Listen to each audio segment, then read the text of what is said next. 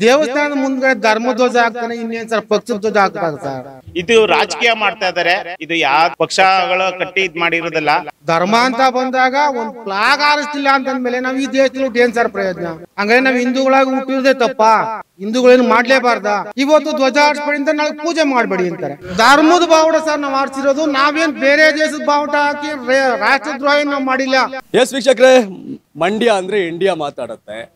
ಈಗ ಕೆರಗೋಡ್ ಬಗ್ಗೆ ಕರ್ನಾಟಕ ಮಾತಾಡ್ತಾ ಇದೆ. ಕಾರಣ ಅಷ್ಟೇ ಹನುಮ ಧ್ವಜವನ್ನು ಇಳಿಸಿದ್ದು ಬಹಳ ವಿವಾದ ಆಗ್ತಾ ಇದೆ. ನಮ್ಮ ಮಂಡ್ಯ ಜಿಲ್ಲೆಯಲ್ಲಿ, ನಾನು ಮಂಡ್ಯದವರಾದ ಕಾರಣ, ಮಂಡ್ಯ ಜಿಲ್ಲೆಯಲ್ಲಿ ಈ ರೀತಿಯ ಸಂಘರ್ಷ ಯಾವತ್ತೂ ಇರಲಿಲ್ಲ. ಯಾಕೆಂದರೆ ಬಹುತೇಕ ದೊಡ್ಡ ಸಮುದಾಯ ಅಂದರೆ ಹಿಂದೂ ಸಮುದಾಯ ಮಂಡ್ಯ ಜಿಲ್ಲೆಯಲ್ಲಿ.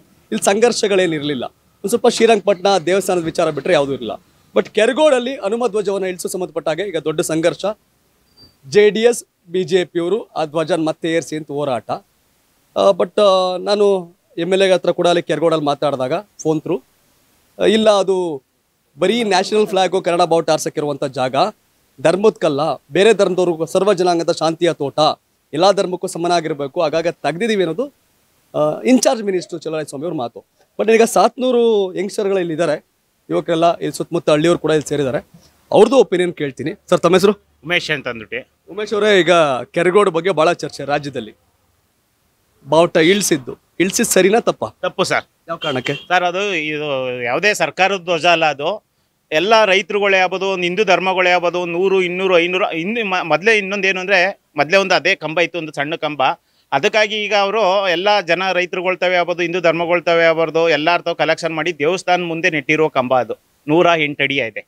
ಅದಕ್ಕೆ ಇರೋದು ಹನುಮಾನ್ ನಮ್ಮ ಇದರಲ್ಲಿ ರಾಮ ಜನ್ಮಭೂಮಿಯಲ್ಲಿ ಇದ್ದು ದಿವಸ ಇದು ಇದೊಂದು ಪರಿವರ್ತನೆ ಮಾಡೋಣ ಅಂತ ಅಂದ್ಬಿಟ್ಟು ಕಂಬನ್ ಇಟ್ಟಿದ್ದು. ಅವತ್ತು ಕಂಬನೂ ಆಚರಿಸಿ ಎಲ್ಲ ಆಗಿತ್ತು. ಅದು ಇಂದು ದಿವಸ ಎರಡು ದಿವಸ ಆದಮೇಲೆ ಇದಕ್ಕೆ ಪೊಲೀಸ್ ಸ್ಟೇಷನ್ಗೆ ಕಂಪ್ಲೇಂಟ್ ಕೊಟ್ಟು ಆ ಕಮ್ಮ ಧ್ವಜ ಇಳಿಸ್ಬೇಕು ಅಂತ ಕಾರಣ ಇದು ಮಾಡಿದ್ದಾರೆ. ಏನಕ್ಕೆ ಅಂತ ಅಂತ ಗೊತ್ತಿಲ್ಲ. ಇದು ರಾಜಕೀಯ ಮಾಡ್ತಾ ಇದ್ದಾರೆ ಇದು ಯಾವುದೇ ಅದೇ ಅಲ್ಲಿ ಪಕ್ಷಗಳು ಕಟ್ಟಿ ಇದು ಮಾಡಿರೋದಲ್ಲ. ಎಲ್ಲ ರೈತರುಗಳು ತಿರ್ಗಾ ಹಿಂದೂ ಧರ್ಮಗಳು ಮಾಡಿರೋ ಕಂಬ. ಎಸ್, ಒಂದು ವಿಷಯ ಇವ್ರು ಹೇಳ್ತಾವ್ರೆ, ಇವರು ನಮ್ಮ ಮಂಡ್ಯ ಆಜು ವಾರ್ಡ್ ಭಾಷೆಯಲ್ಲಿ. ಅದು ಯಾವ್ದೋ ರಾಜಕಾರಣಿಗಳು ರಾಜಕೀಯ ಪಕ್ಷದವ್ರು ಮಾಡಿದ್ದಲ್ಲ. ಜನ ಧರ್ಮದ ವಿಚಾರದಲ್ಲಿ ಮಾಡಿದ್ದು ದೇವಸ್ಥಾನ ಮುಂದೆ ಹಾಕಿರೋದು ಜನ ಕಾಸಾಕ್ ಮಾಡಿರೋದು ಇದು ಯಾಕೆ ಅನ್ನೋದು ಇವ್ರ ಪ್ರಶ್ನೆ. ತಾವೇನ್ ಹೇಳ್ತೀರಿ ಸರ್? ಸರ್ ಇದು ಅವರು ಇಳಿಸಿರೋದು ತಪ್ಪು ಸರ್ ಅದು. ಸರ್ ದರ್ ದೇವಸ್ಥಾನದ ಮುಂದ್ಗಡೆ ಧರ್ಮ ಧ್ವಜ ಹಾಕ್ತಾನೆ ಇನ್ನೇನ್ ಸರ್ ಪಕ್ಷದ ಧ್ವಜ ಹಾಕಕ್ಕಾಗ ಸರ್? ಏನಿಲ್ವಲ್ಲ? ಸರ್ ಇಲ್ಲಿ ಬಂದಿರೋ ಯಾರು? ಈ BJP J D S Congress ಎಲ್ಲ ಕಾಂಗ್ರೆಸ್ ಮೊನ್ನೆ ಎಳೆ ಜೊತೆ ಏಟ್ ತಿಂದವ್ರೆ. ಕಾಂಗ್ರೆಸ್ ಪಕ್ಷದವ್ರೆ ಲಾಟಿ ಹೇಳ್ತಿದ್ದವ್ರೆ ತಿಂದವ್ರೆ. ಮನೆ ಗಲಾಟೆ ಮೊನ್ನೆ ಲಾಟಿಲಿ ಸರ್ ಇದು ಇದು ಧರ್ಮದ ವಿಚಾರಣೆ ಹೊರ್ತು ಇದು ಪಕ್ಷದ್ದಲ್ಲ ಸರ್ ಇದು. ಧರ್ಮ ಅಂತ ಬಂದಾಗ ಒಂದು ಪ್ಲಾಗ್ ಆರಿಸ್ತಿಲ್ಲ ಅಂತಂದ್ಮೇಲೆ ನಾವು ಈ ದೇಶದಲ್ಲಿ ಉಟ್ಟು ಏನು ಸರ್ ಪ್ರಯೋಜನ? ನನ್ನ ಧರ್ಮದ ಬಗ್ಗೆ ನಾನು ಅಭಿಮಾನ ಇಲ್ಲ ಅಂದಮೇಲೆ ನಾನು ಏನು ಸರ್ ಮಾಡೋಕ್ಕಾಗತ್ತೆ ಸರ್ ಇಲ್ಲಿ? ಹಂಗಾರೆ ನಾವು ಹಿಂದೂಗಳಾಗಿ ಹುಟ್ಟಿರೋದೇ ತಪ್ಪ? ಹಿಂದೂಗಳೇನು ಮಾಡಲೇಬಾರ್ದ? ಇವತ್ತು ಧ್ವಜ ಆರಿಸ್ಬೇಡಿ ಅಂತ ನಾಳೆ ಪೂಜೆ ಮಾಡಬೇಡಿ ಅಂತಾರೆ.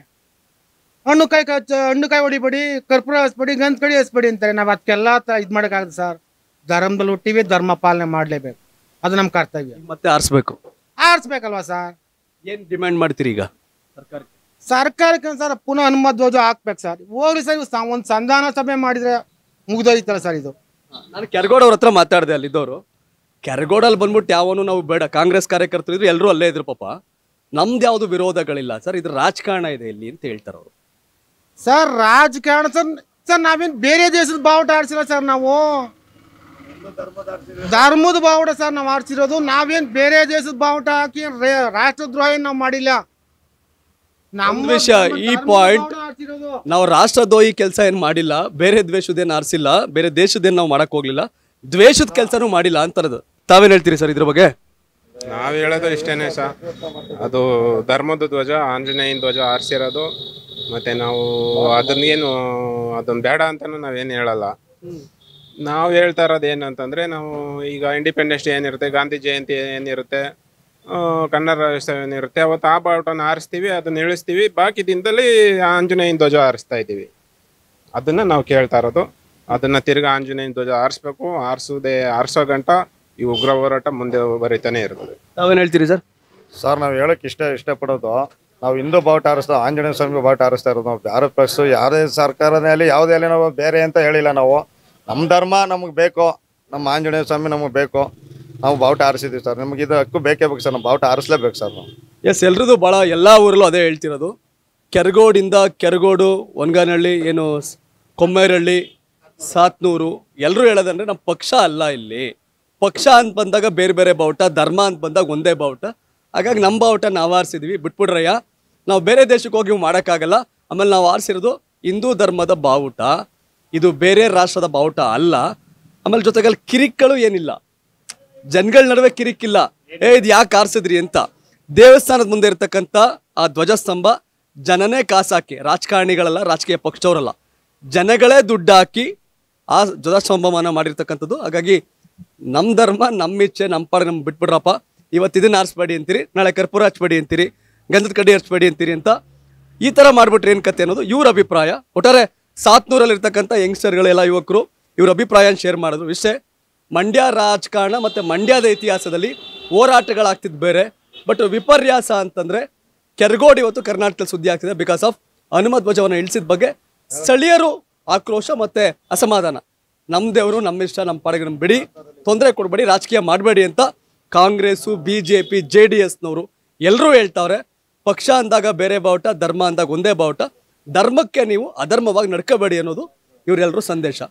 ನಿಮ್ಮ ಅಭಿಪ್ರಾಯವನ್ನು ಕಾಮೆಂಟ್ ಮಾಡಿ. ಧನ್ಯವಾದ. ಇದು ಕರ್ನಾಟಕ ಟಿವಿ ಕನ್ನಡಿಗರ ಧ್ವನಿ.